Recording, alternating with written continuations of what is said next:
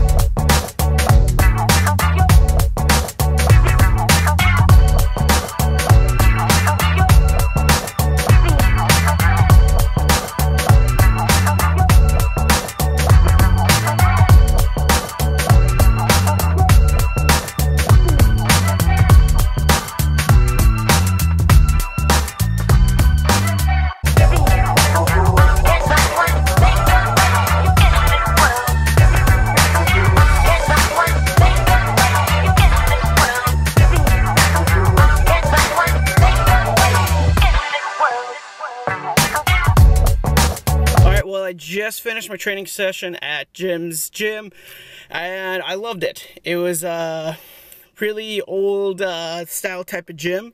It uh, really reminded me of when I first started lifting. And obviously my training has transitioned to a lot different things, but today it was kind of nice to get back in those old routines of just some weight training. So earlier I had missed my 405 and just to kind of talk about that a little bit I actually haven't been deadlifting at all for about over a year. So today was my first time actually trying to deadlift and it didn't go as well as I planned for it to go. So missing the 405 is kind of hard on the ego, but it just shows that no matter where you're at in your life, people fail.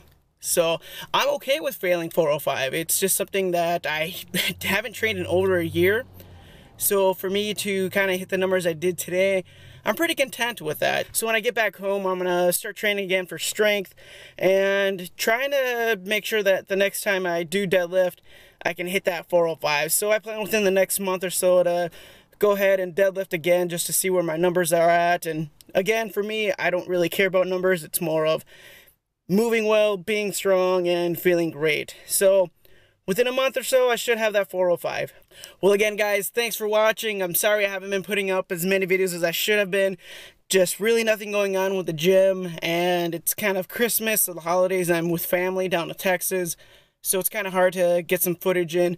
But when I do get back to Minnesota, I'll have a lot of great stuff and start working really hard putting out more content. Alright guys, so again, thanks for watching. Please like, subscribe, and comment, and we'll see you next time.